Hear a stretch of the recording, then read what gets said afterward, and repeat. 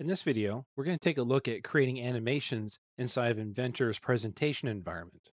So here I have creating animations.ipn, and this has our finished loader.iam loaded into scene one. Now I'm going to make an explosion video here. So what I'm going to do first is kind of just rename my scene with a soft double click, and I'll call this one explosion.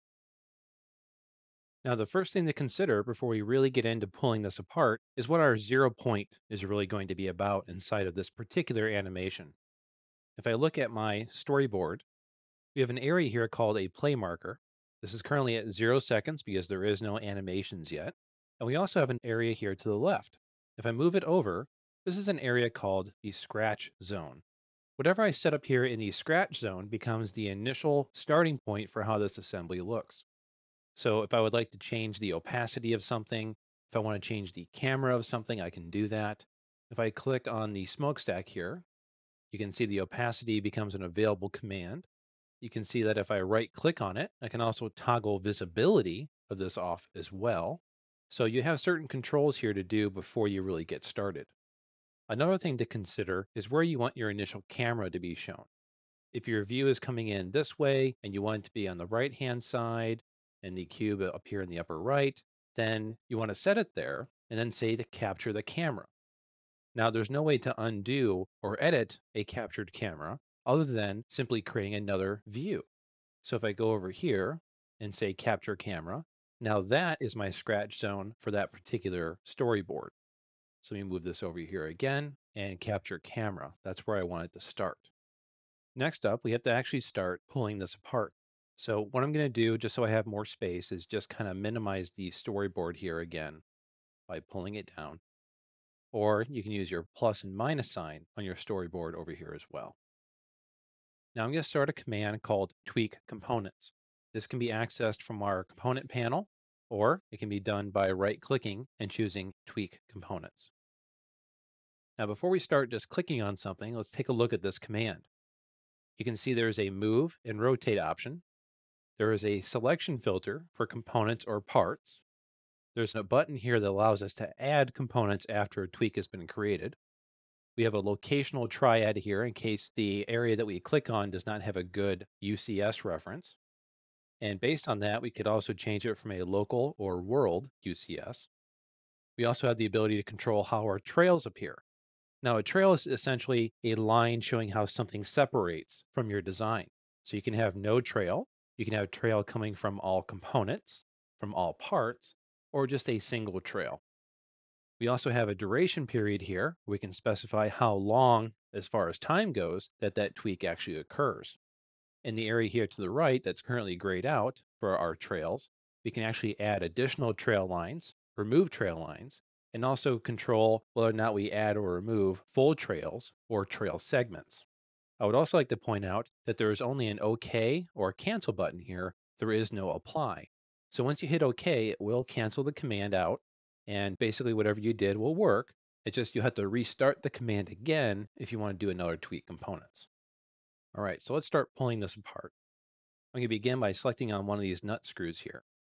Now you can see the local UCS actually worked out pretty well for that. If I click on the other nut screw, you're going to see that it still works out pretty good. So I have some good up and down movement here and back and forth movement. But notice that when I selected this nut screw, the other one became deselected. So what you're going to have to do is if you want multiple components in any given tweak is you need to hold down control and select more than one. Now that I have my components selected, let's see what happens if I change from local to world UCS. And you can see nothing really changed because my local is actually matching my world UCS. That's not a necessary change for this point. And now I'd just like to be able to move this out. Now we have multiple ways we can move our components. We can move them with a arrowhead here to move on the X, Y, or Z direction. And we also have planar movement. That's what this little flat plane looks like. If I had chosen rotation, then this would update to show rotational bubbles instead. So I want to move it out in this way. So I'll click on that arrow and hold. I can move it out in the Z a negative 120. Now you can see here I have my full trails being shown. If I wanted to get rid of a trail, I could click on this and click on the trail on screen to get rid of it. If I like to re-add the trail, I can simply select something on this part, which I'm going to do a rotation here to get to re-add that trail back in. Once you're happy with your movement, go ahead and hit the OK button. And that's going to create a tweak for you. Now, my duration there was two and a half seconds. That's actually the default. So if you look at my storyboard, I have from zero to two and a half seconds, a little bit of a green area here. That's letting me know that my storyboard is progressing. Now, if I want to pull off these tires, I'm going to start off another tweak components. This time I'm going to choose component priority and select the entire subassembly. Again, holding control down to get more than one subassembly. I'll then pull this out in this way. I'll do negative 80 on that one. Again, two and a half seconds is just fine. I'll go ahead and approve that.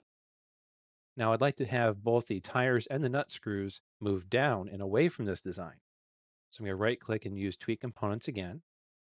Go to components, hold down control, and this time I'm going to purposefully not choose that nut screw.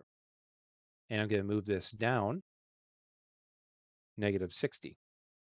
Now, if I had forgotten to pick this nut screw, I can come up here and choose this button to add that component, select it, and it becomes part of that set as well, or a grouping. It might be easier to think of this as a grouping of components.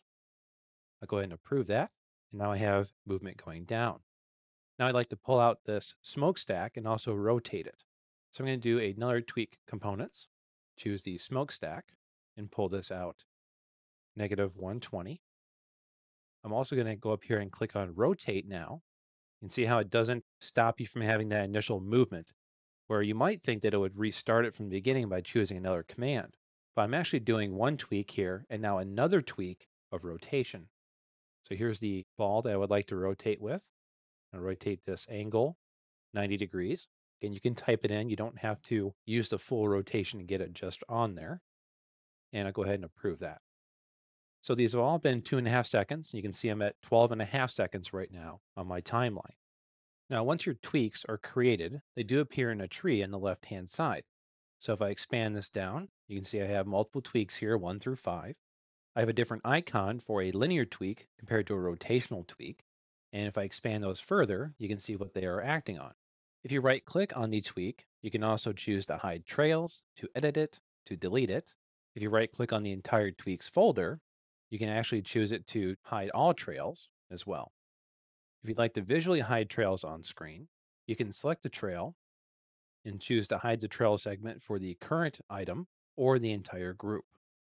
You can also choose the delete tweaks here and also the edit tweak. And at this point, I want to keep exploding this, but it's really a lather, rinse, repeat scenario. So I'm not going to bore you with that. Essentially, you just want to keep pulling this apart until you're satisfied with a good exploded view that you want to have for your animation to actually show something going back together in an animated format.